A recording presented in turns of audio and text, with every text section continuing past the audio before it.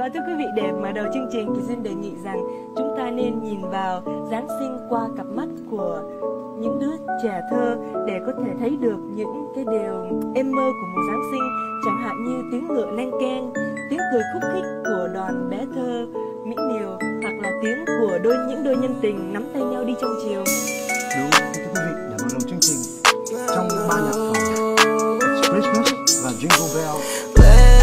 Last Christmas, mình trao nhau trái tim. Tình yêu như cuốn phim, mơ đâu anh vẫn kiếm tìm. Giấc mơ, tôi lấy những giấc mơ. Mm. Ờ, Sao đã bao nhiêu đêm thâu ta chẳng còn gặp nhau. Cô đã biết bao đắng cay nỗi đau hôm nào ta có còn lâu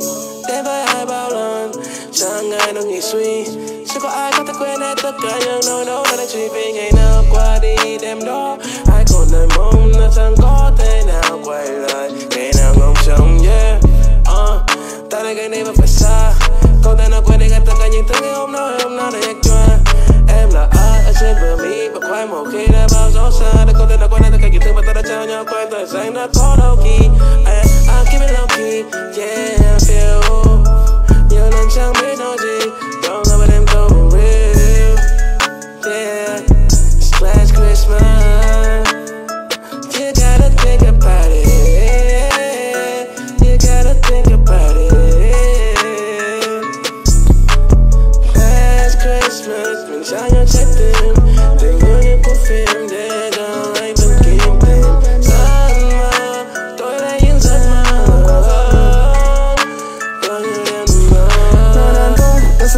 Bao nhiêu câu nói, bao nhiêu câu hỏi khi cơn mưa kia. Chúng mình dàn tay yeah, anh không biết câu chữ không có bên trong tâm trí và làng câu nói yeah Yeah, anh phải kiên quyết, phải cho qua anh không tin tuyết sự tự riêng anh em không nên biết yeah yeah. Anh như bông tuyết yeah yeah. Tên anh viết yeah yeah. Với bài tâm huyết yeah yeah. Nhưng em không biết yeah yeah. Tôi không cần thiết anh em không biết em không biết yeah yeah. Sẽ không biết